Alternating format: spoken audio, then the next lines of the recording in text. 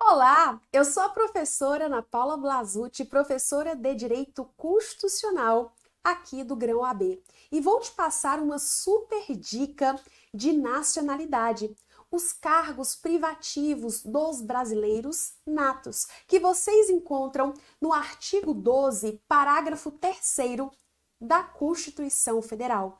Então veja só, Sobre nacionalidade, artigo 12, parágrafo 3, nós temos o macete mp3.com para você saber quais são os cargos privativos.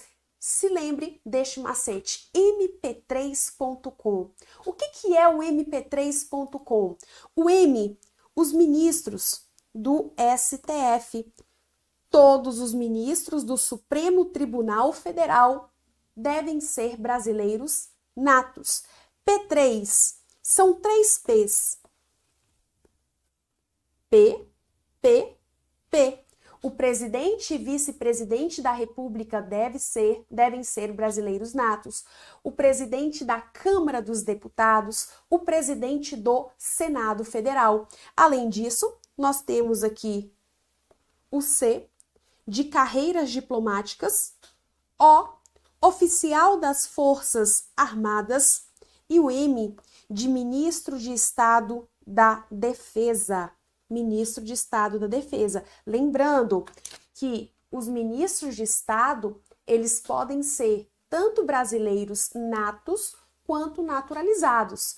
O único ministro de Estado que necessariamente deve ser brasileiro nato é o ministro de Estado da Defesa. Então vamos lá, repetindo aqui Nacionalidade: quais são os cargos privativos de brasileiros natos?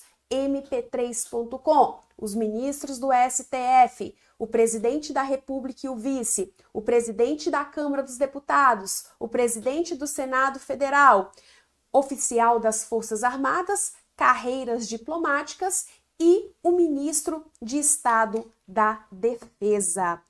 Gente, gostaram dessas dicas? Deixe o seu like, compartilhe com seus amigos e inscreva-se em nosso canal para mais conteúdos gratuitos e exclusivos.